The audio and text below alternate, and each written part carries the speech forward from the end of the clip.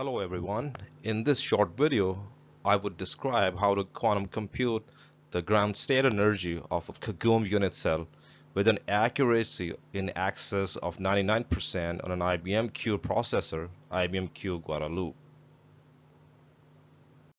A 12-site lattice Kagome unit cell has 54 Hamiltonian terms which should be measured on a circuit, a state preparation circuit, such that the average value of those 54 observables should be within 1% of the actual ground state energy that's minus 18. The main strategy to achieve a very accurate ground state energy involves the use of what I call truncated ansatz. The basic idea is that we can possibly truncate the ansatz circuits to a subcircuit that is used to measure a given Hamiltonian, Hamiltonian term only. Not all the qubits and gates are involved in the measurement of the given Hamiltonian term. That means we can select a portion of a circuit for our given computation and the measurement of the Hamiltonian term under consideration. And this truncation significantly reduces the size of the circuit and reduces the number of qubits involved, especially the number of CNOTs and the number of readouts. Consequently, the smaller Hilbert space that we work with has proportionally lower noise. The other part of the strategy was to combine the exponential fit with the zero noise extrapolation noise mitigation scheme. The exponential fit helps push down the value of the mean value of an observable y, which in our case is the ground state energy. And it is more realistic because under complete depolarization, the mean value of an observable should approach zero. This is in contrast with the case of polynomial fit, as shown here as a linear curve fit function, which tend to extrapolate y to a higher value. And in this case, it doesn't really ensure that y approaches zero under complete depolarization. And instead, what we see here is that y may grow with the opposite sign. And I should point out that the exponential fit was re really critical to further lower the ground state energy closer to the correct value. So in order to summarize the important components of the solution, first, ansatz. I have used ring ansatz, which will be discussed in the next few slides, that conveniently maps to the IBM Q Guadalupe heavy hex architecture and also to the topology of the Kagome lattice unit cell. The circuit has 48 parameters and it attains the ground state energy exactly minus 18 under noiseless condition by running the variational quantum eigensolver. On the real hardware, however, the relative error is one is in excess of one percent. An optimized version of ansatz, the truncated ring ansatz. The defining advantage of this ansatz is that it helps attain relative error which is less than 1% and that will be discussed in the next few slides as well. NFT is the optimizer and it converges to the to, to, to, the lowest ground state energy value that's minus 18 within 300 iteration. That's maximum iteration parameter. And on the real IBM Q Guadalupe chip 2000 shots are sufficient. We can achieve a more stable convergence when the optimizer NFT execution uh, once complete is followed by the gradient descent. The noise mitigation scheme is the zero noise extrapolation with a global folding amplifier combined with the exponential fit.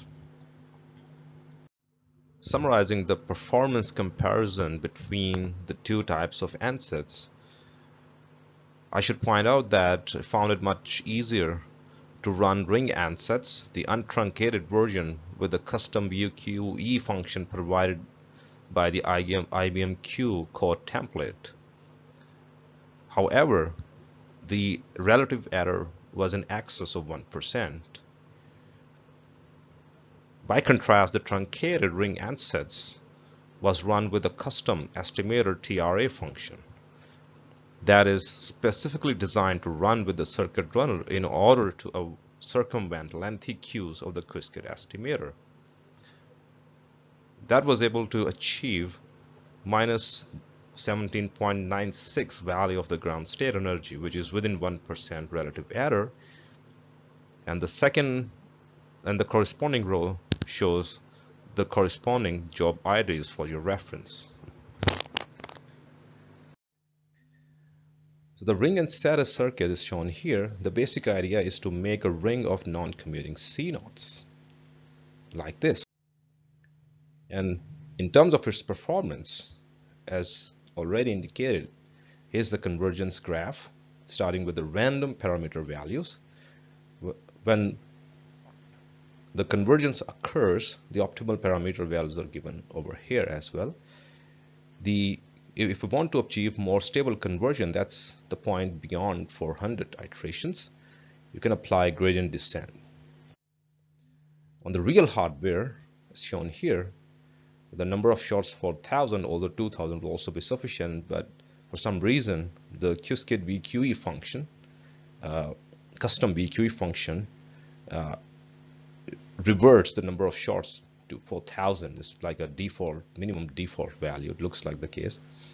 And the other experimental setup extrapolation exponential uh, global folding amplifier I was able to obtain around minus 17.17 with the help of ring ansatz again uh, the main idea shown here is that we will always um, we will actually customize circuits for each Hamiltonian term. So there are, if there are 54 terms, then there are going to be 54 different truncated ansatz circuits.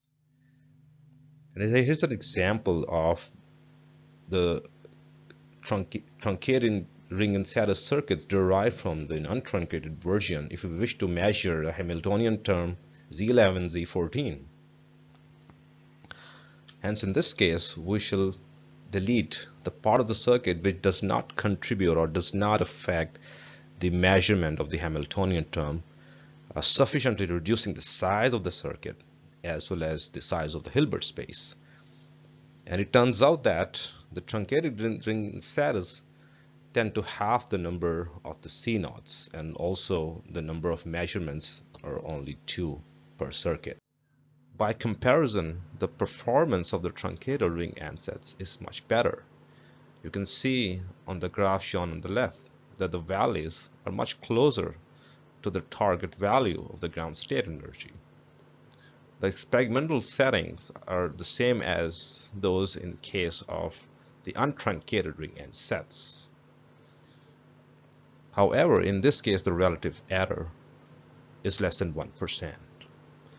At this point, I should remind that because these this graph was obtained by 16 iterations of the NFT optimizer, those were run as circuit runner jobs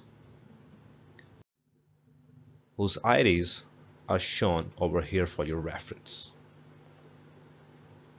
The proposed ring ansatz accurately mirrors the topology of Kagome unit cells.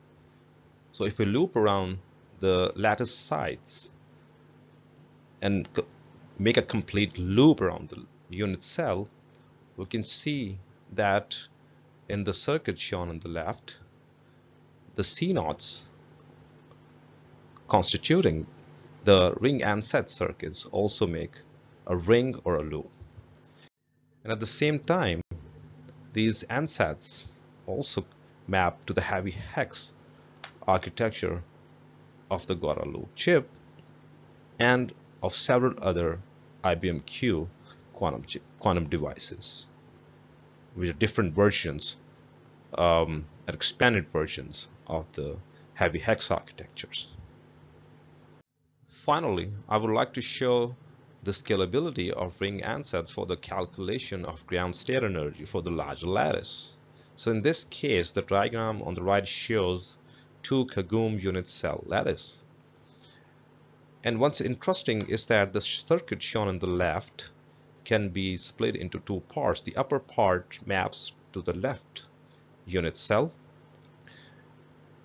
which can be separately optimized with the pre-calculated optimal parameter values as discussed before.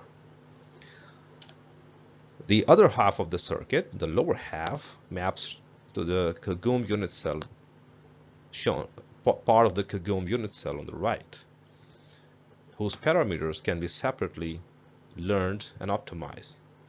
As a result, I was able to attain the ground state energy, minus 27.23, which is not too far away from the target value However, the relative error is slightly higher, which I believe can be reduced to an acceptable limit uh, as part of my future research work.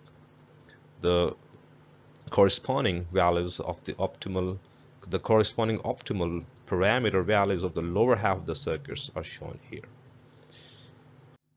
And here is the corresponding convergence plot as obtained by the simulated variational quantum eigensolver available in the Qiskit library. With that, I would like to conclude my presentation. Hopefully, you were able to learn a thing or two about the accurate quantum computation of the ground state energy of Kagome unit cells, some techniques of error mitigation, and designing low noise ansatz circuits. You can always drop me an email shown here and I wish you best of luck and have a nice day. Thank you.